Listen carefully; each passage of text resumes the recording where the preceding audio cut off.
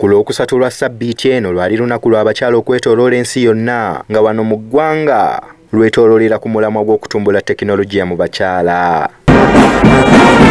Olwaleero ebibiina ebirwanirira eddembe ly'abakyala n'okukendeeza okusaasaana kwa mukenenya bisabye gavumenti okwongera amaanyi mu kukozesa tekinologiya okulwanyisa akawuka ka mukenenya mu bakyala. Tukakasa nti omutimbagano emu ku nkola empya ezizza okulaba nti zongera okukendeeza okusongamu olule n'okusosola wakati wanze omuntu alina akawuka ka mukenenya. Ate n'okwongera okulambika singa nze ng'omuntu mba nfunye okunyigirizibwa ng'omukyala oba okuteekebwako obulabe waliwo kati enkola ey'omutimbagano tisinga nalaba omuntu ng'akuba omukyala nina wensobola okuweereza amangu obubaka nti bannange mukyala munange wuuno afunye obuzibu.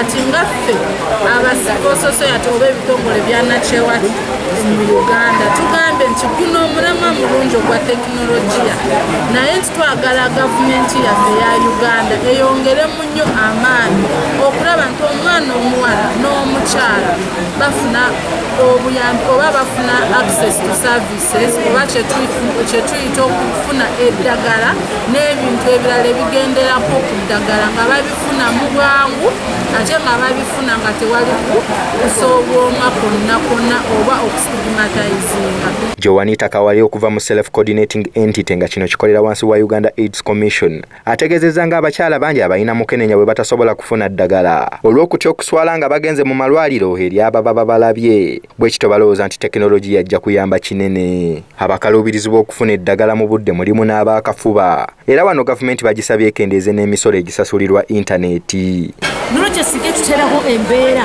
etuyamba data n'abeera nga tumufunira ku bwereere kijja kwongera okwanguyiza omuwala wadde anabeera eri mukyalo ewala asobole okuba nti asobola okugenda ku mutimbagano asabe kyayagala abeere omulamu ate ne bwabeerawo obutabangu.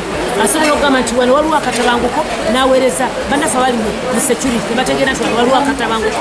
Nebasobola okujja okuyamba omuntu oyo abafunye obutabanguko okusosola abakyala nga kutuuse ku kusikira ebintu by'abazadde baabwe kusa obutaweererwa. Nabyo binokoddwayo mu byetaaga okutereezebwa. Mu kugabanya ebintu wano ewaffe naddala mu uganda abantu balowooza nti byalibadde byamu baana balenzi bokka ekitali kituufu. Ffenna n'abaana ng'ab'obuwala zonna tulina okufuna mu kyenkanyi.